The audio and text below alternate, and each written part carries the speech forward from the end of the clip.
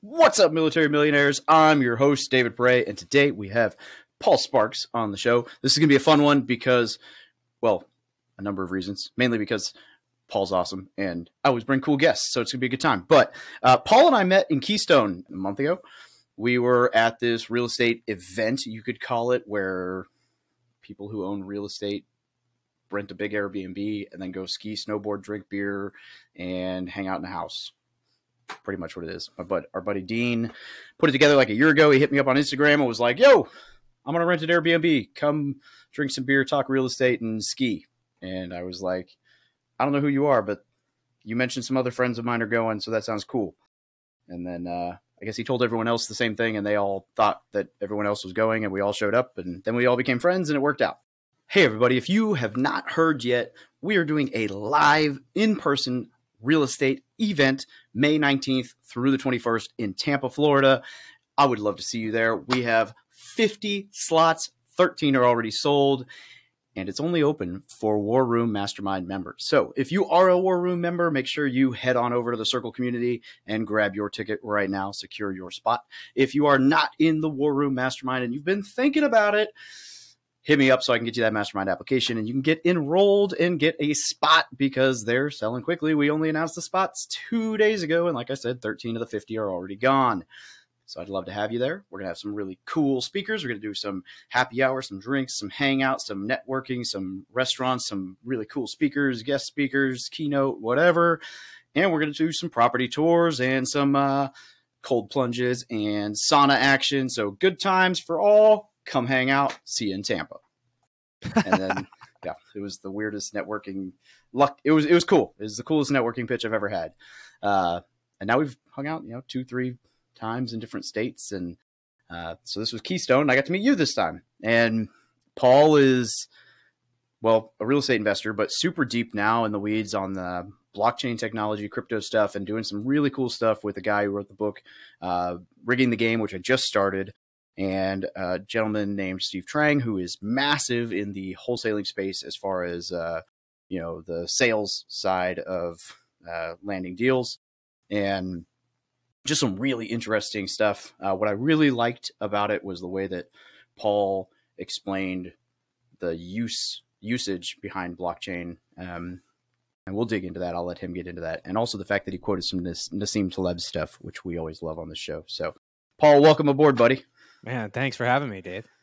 Yeah, man. Uh, why don't you give a little bit more of your backstory? I'm sure you can do a better job talking about yourself than I can. Sure. I will try to keep this brief, but uh, I'm an engineer by trade. I got into sales because I'm actually a terrible engineer and I was selling engineering equipment. So you could call it technology, really, new tech to some of the largest companies in the world uh, United Airlines, Amazon, Walmart. This is where I got my start in in my career, and you know, selling technology to these large corporations taught me a lot about how to sell technology. Found my way into real estate investing, and through that process of just like buying a house, moving out, turning it into a rental, doing that over and over and over again, was able to build up enough cash flow to go full time at real estate investing. And now I spend uh, quite a bit of my time looking for development projects. We're getting ready to close here in a few weeks on an 18 unit townhouse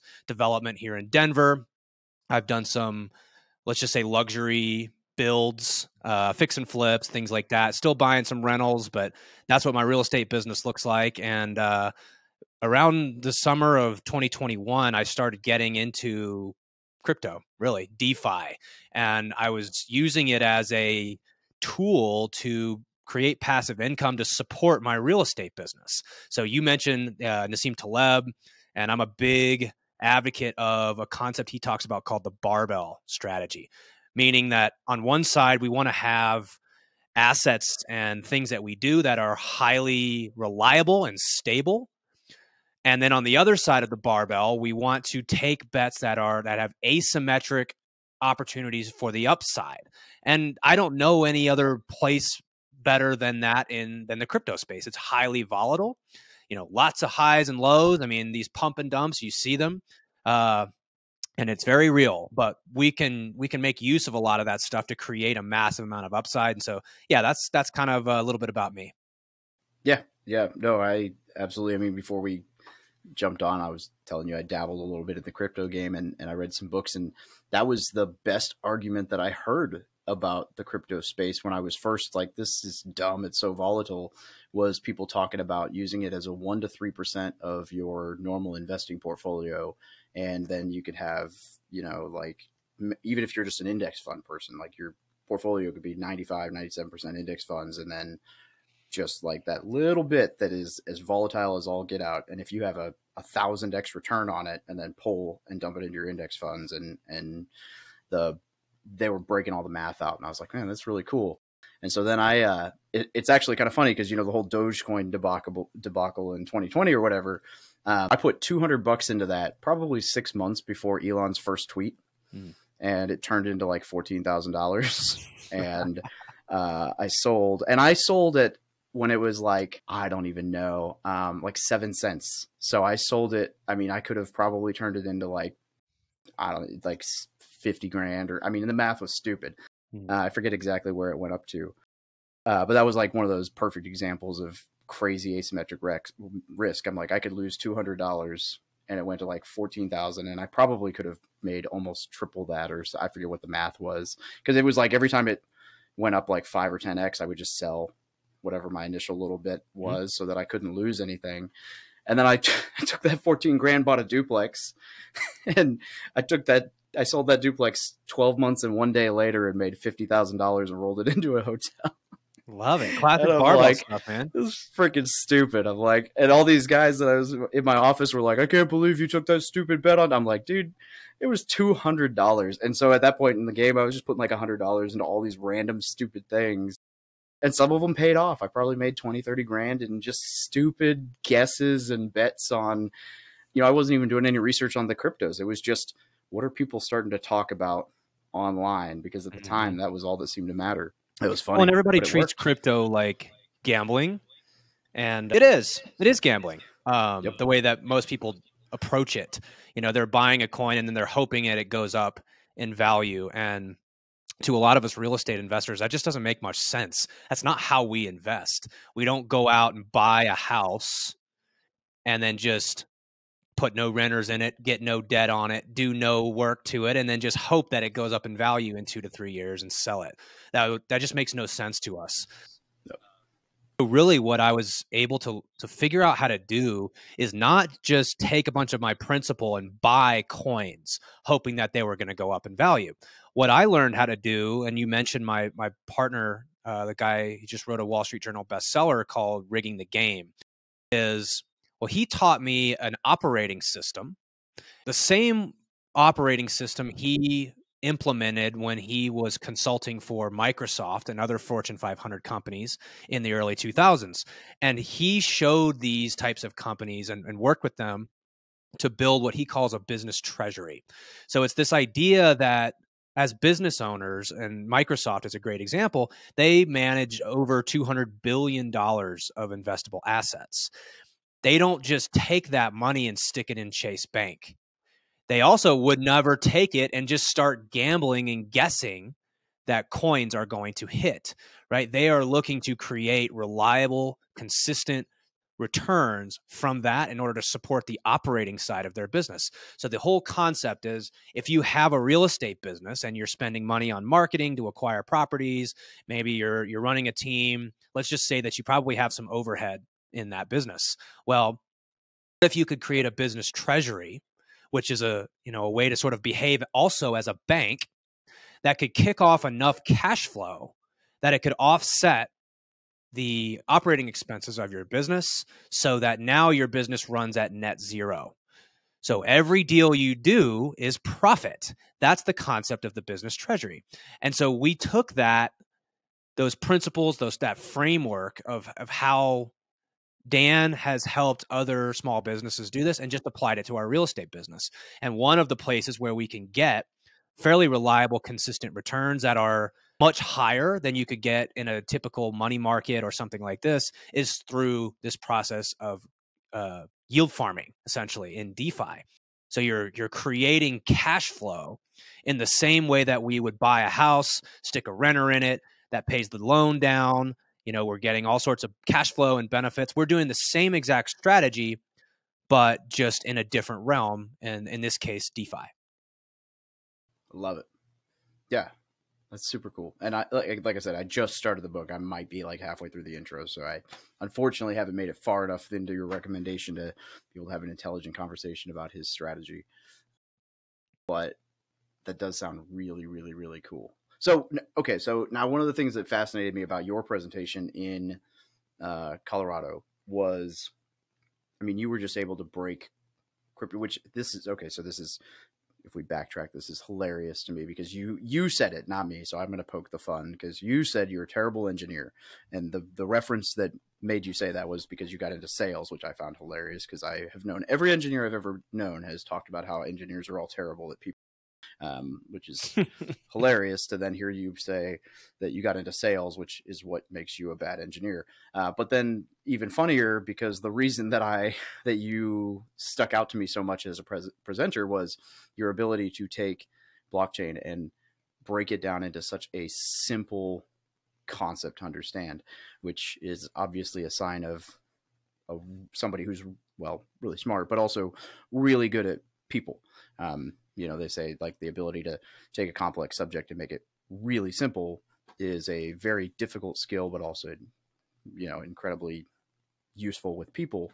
Uh, so all of that's just hilarious when you think that you start out as an engineer to me. But um, why don't you, if you want to maybe key in on one or two of those things that some examples of uh, like blockchain uses in like day to day that you know some of some of the stuff from that presentation or because uh, I know people, we've had a couple people on the show before who've talked about blockchain and crypto, and I know that there are people listening who are still just like, heard it all, and I don't get it. Yeah. Um, and we're going to dig into what where you guys are going and what you guys are building, which is really really cool. But I think in order to for people to actually like tune into that, they need to kind of understand the the at least from from the basic simple breakdown that you have been able to make why blockchain actually matters in a way that is not technical. Yeah. Well, let me first of all thank you for the kind words, and um, yeah, that has been my skill set. Taking and I did this. I think this is why I had success in the corporate sales world, selling to some of the largest companies in the world. People still they don't buy technical facts and features; they buy the benefits. They they you know, um, and here's the problem is when you're looking at any sort of new technology, the people who understand it first are the innovators and the early adopters, and they understand things through technical facts and features. You know, it's like, it would be like if you ask somebody in the late 90s, early 2000s, what is the internet? And they started talking to you about well there's all these wires and tubes and zeros and ones and binary code and you know like giving all this technical stuff. And and most of us are like what? I, I don't have any frame of reference for any of that. What does that actually mean? And if you really ask somebody and this is what i did in my presentation is i asked hey what is the internet? What does that mean? Right? And what what you find is people start telling you not the technical features of what it is, but they describe how they use it. So, for example, the internet is this cool thing where you and I can get on a video, you're on the other side of the country, and we can have a conversation and, you know, or I can I can shoot you a message and you're going to get that in about 2 seconds. We call that email.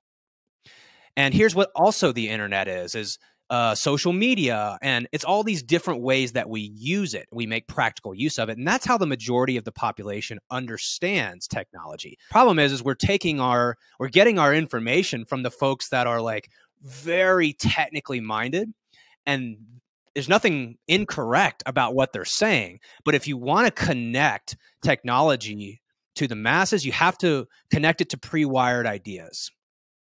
So one of the things I like to start by when I explain blockchain to somebody is the Microsoft Excel example versus Google Sheets. Right? And and Microsoft Excel was this dominant powerhouse in industry for I mean, I would venture to say probably 20, 30 years. And they completely dominated that industry. I don't even know what you call that industry, but just uh, you know spreadsheets basically. Uh, and then Google came along, and they said, actually, we love your product. It's fantastic. We're going to keep the logo almost identical. The user interface is going to stay the same. The functionality is going to stay the same. You know, if you get on Google Sheets, it looks almost the same as Microsoft Excel, but it has one small difference. It's on the internet. And what that means is now you don't have to download the Excel file and I'll send it to Dave and then he's going to download it and rename it and make his changes and send it back to me. We all use the same exact spreadsheet in the same exact place. And that is an, is an analogy for what blockchain is. Instead of I've got a spreadsheet and Dave's got a spreadsheet, we have one place where we go to keep all the information. So I think of blockchain as like the first column in Microsoft uh, in Google Sheets. Not only do we all have access to the same sheet, it's a public sheet, anybody can see it. But every time something happens, it just gets entered in on, onto a new line. And why that's beneficial is that we're all sharing the same data. I don't have to worry about is this the right revision? Is this the right spreadsheet? Do I have the most updated data? It's all in one place, and so we can all make use of it. Another example I use to connect to this is like the fossil record. So, talk about the original blockchain, right? It's this idea that everything that's happened in the history of the earth has all been recorded in one place. It's in the layers of the earth as it stacks up. So, we don't have to sit here and speculate what happened. We can drill a hole in the ground and fill and figure out exactly what happened over time because we all have the same source of information. That's essentially what blockchain did is it put everything in one place so it can it can be verified by everyone and there's not a you know multiple spreadsheet situation where we're all sitting here saying what's the correct data? It's all got put in one place. I'll explain why that's beneficial but for those who are still understanding what blockchain is, I want you to think of it in terms of a Google Sheet. It all goes in the same place. We share it with as many people as we want. It's public. And everything that happens just gets recorded into a new line. Yeah, I love that analogy. And and it's I mean it's I mean it's simple, right? I mean that's exactly what it is. And it you know, I mean the other beautiful thing, right, is just, you know, nobody can erase it. Eh, yeah, exactly. So it's like a Google sheet where you can't screw it up, you know, unlike the Google sheet that I had for my mastermind where someone deleted it. Yeah. still don't know who that was, but all my contact info for anyway. It's my fault. I'm sure. sure well, and so that's I think the the problem is is like people have a tendency when they hear blockchain or when someone's telling them about blockchain is they're describing all of these things like it's a digital immutable ledger fully transparent yada yada yada all these like phrases and terms that we're just not familiar with. And again it's like describing the internet in a way that i don't care about all those things. I just care about how do i make use of this right? Yeah exactly. Immutable ledger. Yeah Cold I mean, storage. Just, cold storage makes blockchain amazing. Right. And everybody's right. like, what are you saying? What does that mean to me? Anytime you're talking about technology, if you start using words that the other person doesn't know, you've immediately lost them, right? You have to connect things to pre wired ideas. And so, you know, what I'd like to do is just spend the rest of this time talking about, well, why is that useful to us as real estate investors? Because again i i okay let's say you understand what blockchain is. In the same way maybe you understand what the internet is. But if we can't use it well who cares? What's the point? So what i what i've noticed is that uh, when i when i got into blockchain it was because one of my close friends guy i'd worked with for years and years he called me up and he was sort of like hey you won't believe this but I just he actually had turned fifty thousand dollars into five hundred in you know a couple months. That five hundred turned into uh, that fifty thousand through the middle of 2022 turned into 40 million dollars. And it was like uh, I mean that's just a it's an unfathomable amount of wealth to generate in that amount of time. And he's one of a dozen people that I know that have had similar experiences with this. There, eh, of course, that 40, 40 million dollars is now probably like three or four because the market has completely pulled back. What we noticed through this process is a lot of these crypto, a lot of this new money has a problem because barbell stuff, right? That's not exactly a reliable asset, crypto. It's a great way to create a ton of asymmetric upside, but you need to have a downshift. You have to, I mean, in my opinion, you need to find ways to preserve that wealth and lock in your gains. And so the first kind of aha moment that we have was like, well, I went to Tom and I said, okay, Tom, so take some of that $40 million. Let's take it off the table and go invest in real estate. And he was like, well, you know, in order to do that, it means I've got to break a, and again, I'm going to use some words that people aren't familiar with, but I got to break apart my liquidity pool. I got to s- send my coins back to MetaMask and then move them into Binance and then swap those for US dollars, send it back to my bank account, wire it to your bank account. You're going to go invest it. And then you're going to give me cash flow and I'm going to move it all the way back around. And their response was like, no, that's too many steps. Like, I don't, that's too much. I'm just going to stay here. So what we said was, wow, what if we, that's kind of ridiculous, but okay, I get it. Um, how do we make this easier for these people to downshift? And what we know about crypto people is, boy, do they love to press buttons, right? what if we could give them a button that they could press and they could buy a token that would be pegged to real estate? And of course, uh, now they are feeling the pain because that $40 million turning into four, and they're saying, damn, I really wish I had downshifted into some real estate. So, what we're trying to do is help.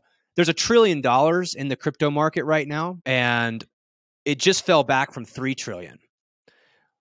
I have a strong macro belief in, in the utility of cryptocurrency. I believe that it's going to surpass 10 million or 10 trillion um, fairly in the next, let's say, five to 10 years. So there's a pretty substantial market that really has no way to get into real estate currently. So, what we're trying to solve right now is essentially what we call real estate tokenization. So, as real estate investors, we all go out and we buy real estate. A lot of us have funds or syndications that we raise money to go out and buy multifamily or self storage or develop townhouses or whatever. And the idea being if we can make it so that these crypto people can buy into our fund by pressing a button and buying a coin, they can now start downshifting out of these more volatile assets and into significantly more stable assets, getting long term wealth. As we like to say, we're trying to help the new money get old man assets. oh, man. It, and it's true too, though, because I mean, I saw that, and it, it's easier. It's always easier said than done, right? In hindsight's twenty twenty. Um, literally, I guess, uh, just the other day or two years ago, three years ago. Holy crap! Um, but you know, when you're winning, why why would you pull any money exactly. out to stick it in something safe? Why would I invest in bonds or real estate or you know something fixed? But I mean, that's it. Just goes to show you the mentality of like the difference in investors you know, because you you heard me say that I was selling all the way up on Dogecoin, right? My returns would have been much better had I just held until yeah. the end when I decided to exit, because every time I sold when it doubled, I killed what my return would have been the next time I sold when it doubled. Uh, but also, every time it doubled and I sold, I guaranteed that I wasn't playing with house money anymore. Mm-hmm. And then it doubled and I sold again. I wasn't playing with the double of house money and it doubled and I sold again. Now I'm not playing with the double of the double of house money.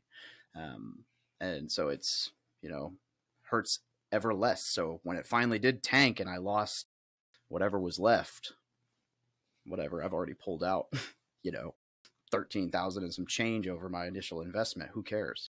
Mm-hmm. And so if that guy at 40 million had gone and purchased a 10 million dollar apartment co- complex cash, maybe, you know, it would have gone up from 40 to 60 and he would have gone, "Oh man, this stinks." And then it crashes down to 20 and he would have gone, "Oh, yeah. Well, and this is the result, in my opinion, of biological hardwiring in our brains, like our survival brains that have evolved over millions of years don't serve us necessarily when we're talking about investing because we're so wired towards chasing more you yeah. know? Um, there was a point in our history where we didn't know where our next meal was coming from. We had to you know maximize for every single opportunity. We were constantly trying to chase more and more and more and that doesn't serve us very well now.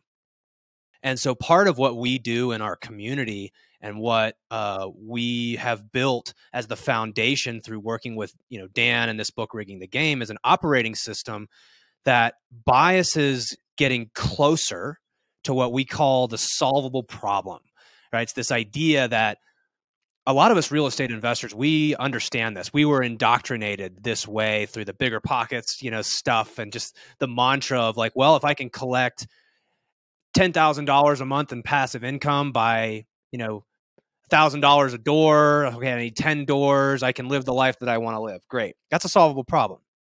You know i'm a math guy and an engineer we need to create something that can actually give us a an indication of are we getting closer? Do we need to take on more risk than is necessary? I think no right? But the problem is is if you don't have a solvable problem you're going to err on the side of your brain's going to tell you, yeah, but if I get another double up at 40 million, that's going to be 80.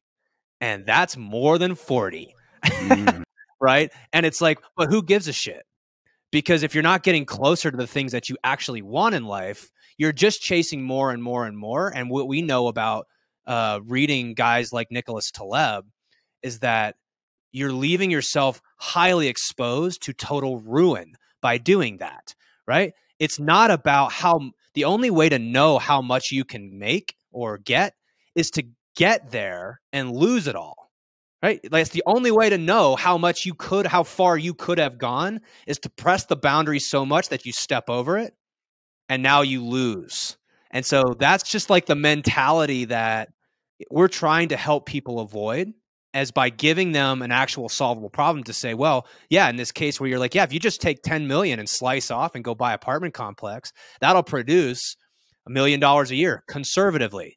But they don't think that way. So it's a lot of education and it's a lot of giving people the actual financial tools to go out and use things like crypto and real estate have a balanced barbell but ideally you're investing and using these tools to help you accomplish some goal in your life and if it's if the if the equation you're solving for is just infinitely chasing more and more and more it's a it's a recipe for disaster. Yeah people people always ask me you know that that age old like if you won the lottery and you won like a hundred million dollars what would you do? My answer the first part of my answer is always like the most boring thing in the world. And i say that you know and then when it happens i'm gonna go crazy right? But but when I, my answer is always like well the first 10 million is going to go into a combination of CDs, bonds, and savings accounts because once that's done, then I can lose the other 90 and who cares because right. I can live on 10 million in bonds and I can't lose it. So, you know, and then we'll put another 10 or 20 or 30 into just cash purchase, you know, 50 to 70% LTV or 50 to 70%, you know, cash purchase or maybe 100% cash apartment complexes and mobile home parks and and storage sure. units and upside plays. Whatever. You yeah. know, and then, and then, I got 50 million to go buy my Ferrari and yeah. gamble on Bitcoin and venture capital and see the world and, you know, 50 50 gamble on VC and, and see the world and whatever, mm-hmm. live my life, give to all the family members who are going to show up and tell me they're my long lost uncle I've never met. Well, and I resonate with that so deeply. I like to say that my solvable problem is that I want to be able to play business like a sport. I'm a competitive, I don't know, athlete. I my my game of choice is basketball. I play a lot of pickup basketball. What I like about pickup basketball is I don't have to show up for practice. I don't have to show up. I show up when I want to. You know, when I'm in the game, yeah, I'm playing hard. I'm trying to win. But when I step off the court, whether I won or lost that pickup basketball game has absolutely no bearing on my mental state. And boy, what a cool scenario that would be to have so much reliability in your life that now you can go out and play business like a sport, like you play pickup basketball. I'm going to try this because I want to play. Like and there's going to be times in my life when I don't want to play. There's going to be times in life where the the uh, the the chances that this goes right is very low. But I'm just I want to play because I want to play. And you can't do that without having highly reliable assets that are not just reliable but it's predictable right? If there's no predictability in your life it's going to be really difficult to play on that other side of the barbell. Or if you're tom brady with ftx oh wait too soon too soon? No just I, probably too soon yeah. Probably too soon. Um anyway okay so all right so they push button. Now let's go back to the good stuff. All right tokenization. So from my understanding, and I've talked to a couple other people who've talked about tokenization because I was always my I always like the idea of, of the fact that blockchains eventually going to replace title companies because they're archaic and need to go the way of the dodo anyway. So I'm excited about that, and it's slowly starting to happen. We're seeing use cases emerge, which is super exciting to me because that's going to be fun. Um, I thought that that would be something I could pursue until I realized that I can't wrap my head around blockchain enough to ever make it happen. But uh, anyway, tokenization. Um, my understanding is essentially that it's it's almost like uh, uh, a REIT, um, right? Where or not a REIT, but like a you're, you're, basically it's it's like a syndication, but you're just buying a token, like a, a crypto, instead of a share in yeah. a, a syndication, right? I mean, I think of it like in the same way that we buy stocks in a company, you can it's actually it's actually the same exact thing right so if you're if you're an investor accredited or not if you invest in a fund there's different types of funds right again i don't know how familiar your, your audience is with all of the different types of investment vehicles to raise money in but a fund is essentially where you're going out you're raising money from a whole bunch of people you use that money to then go buy real estate there's all sorts of types of funds, right? Multifamily, self storage, single family funds, all different flavors for all the types of real estate that's out there. And right now, the way that this works is, you know, Dave, let's say you run a fund and it's a single family rental fund and you're going out and you're raising $10 million to go out and buy a bunch of real estate. Well, you've got all these different investors who are going to give you different amounts of money and you have to create what's called an allocation. So, in the same way that you buy stocks or shares in a company, you're getting an allocation from that fund based on how much you buy in.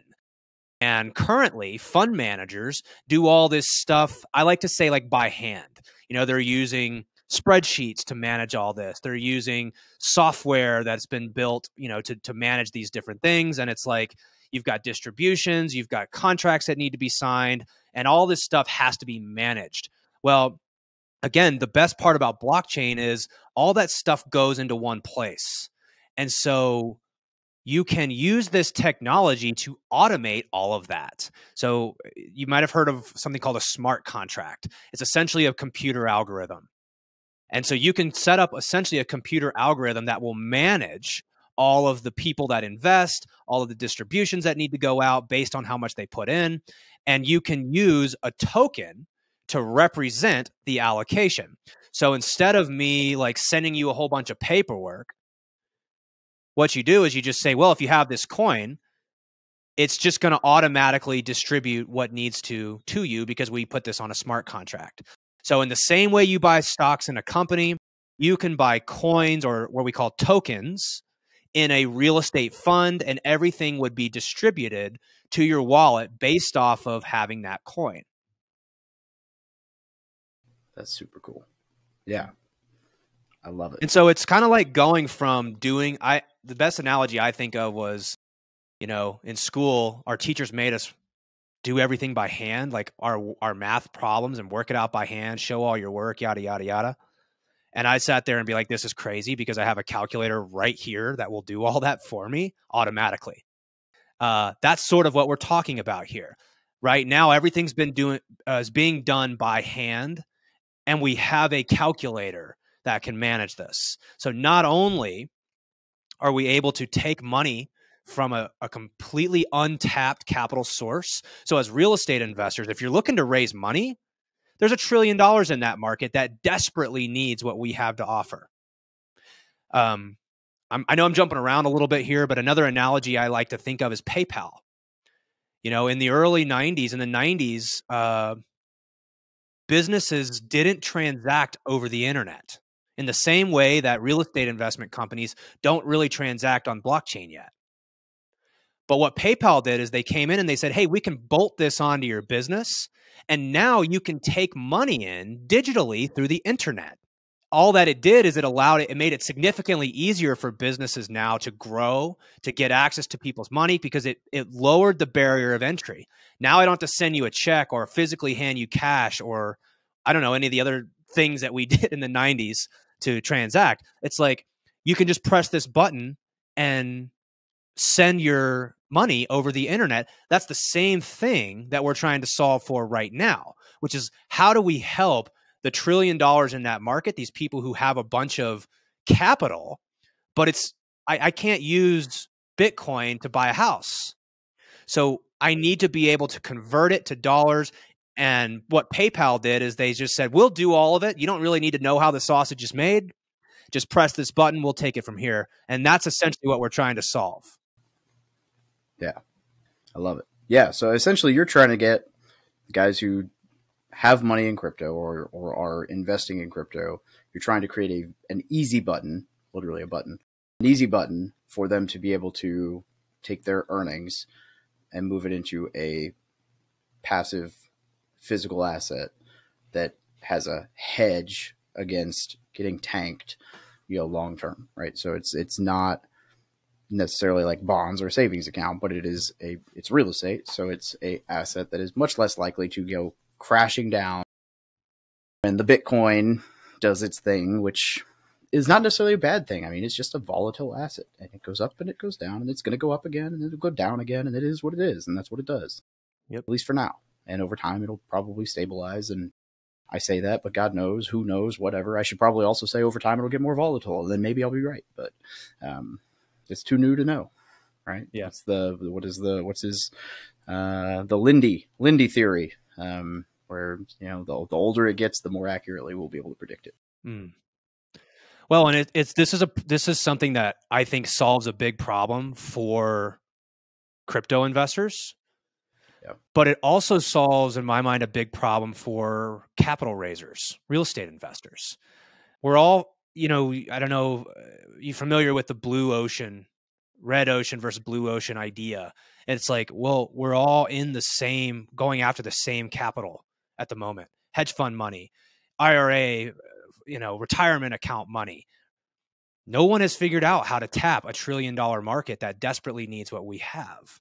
And so, as real estate investors, if we can open up this bridge between these two worlds, we I mean, we can capture a significant amount of capital from an untapped source, right? So it allows us to grow our portfolios, it allows us to scale and provide education to a market that is currently just doesn't have it. Ooh, interesting question. And I don't know if this is going to take us on a rabbit trail that we don't have time for, so maybe we just deter this question to a later time, but tax implications. And so obviously, like from your end on the syndication side, this would be normal K1, typical tax, nothing changes. One of the perks, at least as of right now, for a lot of crypto guys, is that, from my understanding, uh, things can kind of just not exist. Hmm. Uh, I'm wondering if they're if you're going to run into a investors who have a significant chunk of capital that doesn't exist that want to invest with you and and don't want a K1 and what that might end up doing to your your uh I just, I'm just thinking out loud. I wonder what yeah. that you know if I had 40 million dollars that the IRS didn't know about I wanted to throw 10 of it at you, I probably wouldn't want a K1 to file. sure. Well, uh um, maybe this is not obvious, but I am not a tax advisor, Yeah, yeah, yeah. uh, and none of this is financial advice. So, uh, preface this by saying that. Now, secondly, what we know about blockchain is well, the SEC is not super fond of crypto. However, they are very fond of blockchain technology because they are a very small entity relative to the massive amount of money and investors that are investing. They don't have the bandwidth to go around and police every, you know, dollar that's being invested. So they set up these 506Bs, 506Cs. They have certain regulations for this. You have to meet certain requirements. And none of that changes by doing this, right? This is still why, why I call it a token is I'm shortening it. It's called a security token. So this is still a security that is registered with the SEC, which means you still need to provide verification of your uh, accreditation status. You still have to sign documents in the same way. All that it's doing is it's like it's, it's the PayPal, right? We can accept a different type of currency and you can pay with it this way. Why they are very fond of that is because it makes it significantly easier for them to track. This is not going to help the person who is trying to avoid taxes, right? If that's your strategy, downshifting into real estate is probably not a great idea for you in the first place, right? This is someone who is actually looking to build a financial fortress, uh, to actually build wealth in their life. If you want to stay playing with all this internet money, you're probably not going to be a good fit for what we're trying to do, which is to help you acquire legitimate hard assets, right? Again, I still have a long term belief in crypto. I love playing on that side of the fence. And there are a lot of people who are doing it because they're trying to avoid some level of uh, tax implication or scrutiny, let's just say, in some way. And uh, I can't help those people. That's not going to change with this. If you're trying to play above board and actually build wealth, this is a tool to help you downshift into those things. Fair enough. And that being said, I mean, you know, cost segregation and everything else, there are still enough tax advantages with real estate that it probably would be less of a hit than anywhere else you were to move your money. So, yeah. You know, other than maybe it just is what it is. You know, it's like the government is catching on to blockchain and DeFi. You know, um, it's not a secret to those people. They are fully aware of what's going on. I have a lot of my my attorney or my accountant is Dan, uh, the guy that I partner with, and and he has a lot of exposure, let's just say, to that world and understanding the changes and things like this. Those people that are trying to avoid taxes by sheltering it in crypto, they're at you know your time's closing in on you. Let's just say that. You know what's interesting? I just thought of not to completely derail, but in that same realm, the the absolute best way to avoid taxes, right, is probate. Know, we I always make that joke in real estate world, is like you just hold on to it till you die, and then you pass it on to your kid, and they get the, you know, tax it, uh, the you know value at whatever it is when you when you passed away. So, uh, present value or whatever.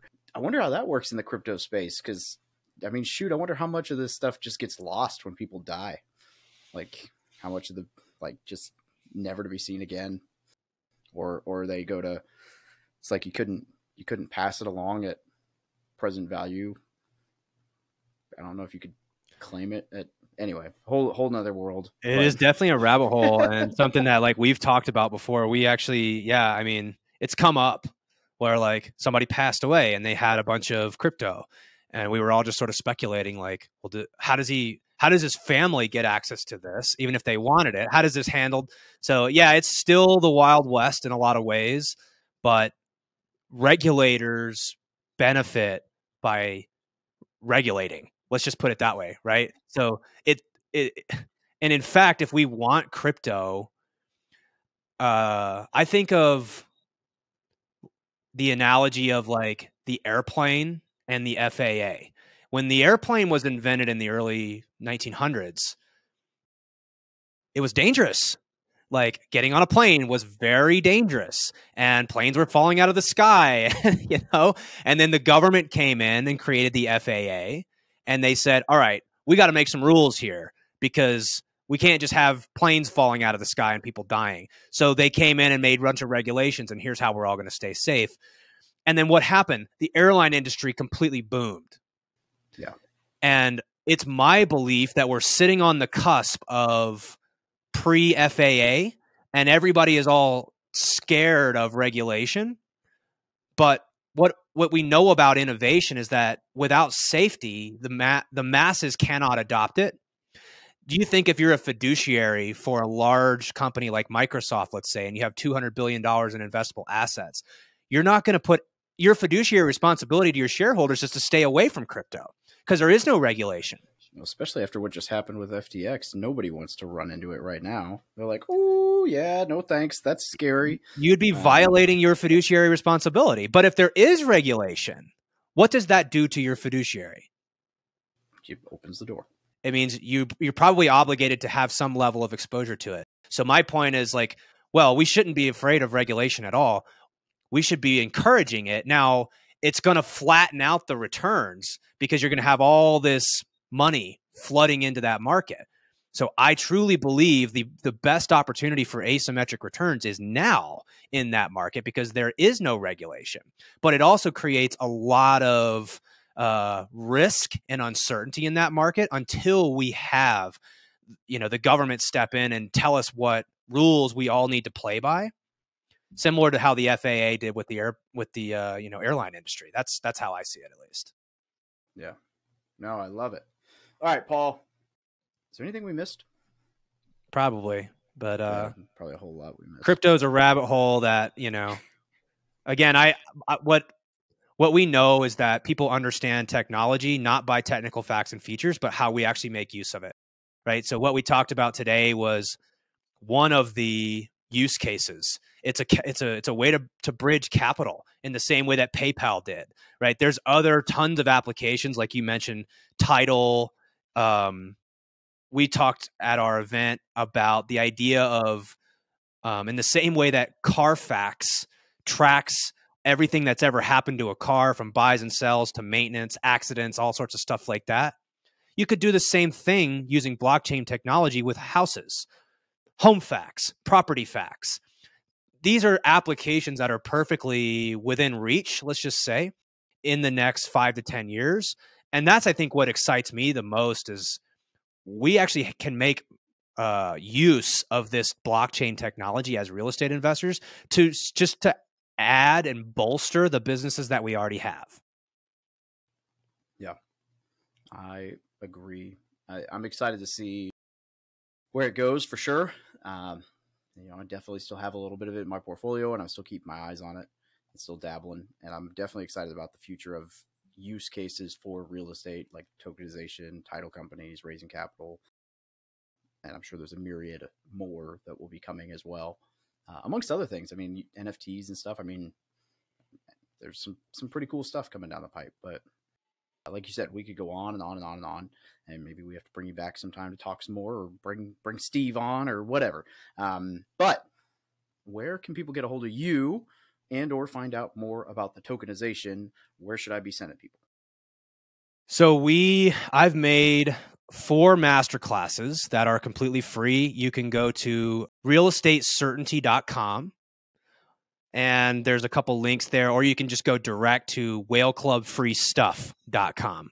So whaleclubfreestuff.com has these four master classes, and I break this down for people who uh, are completely new to blockchain and want to understand the incredible opportunities that we have as real estate investors to make use of this technology you can go there. You can watch these master classes.